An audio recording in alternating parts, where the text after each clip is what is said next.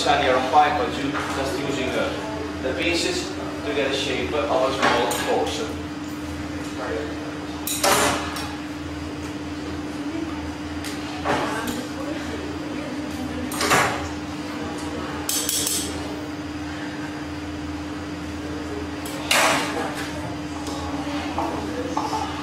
Remember this one here is just a, a small demonstration because the real production stays in Murano Island, where there's our factory that sent to us all of the items that you can see here as chandeliers, for example, and mirrors, and also other selections of items.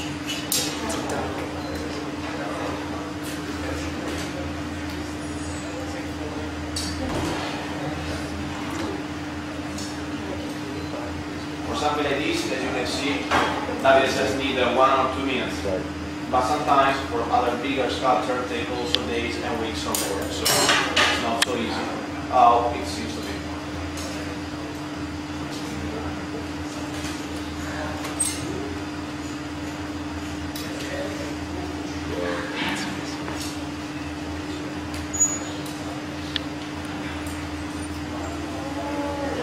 And at the end,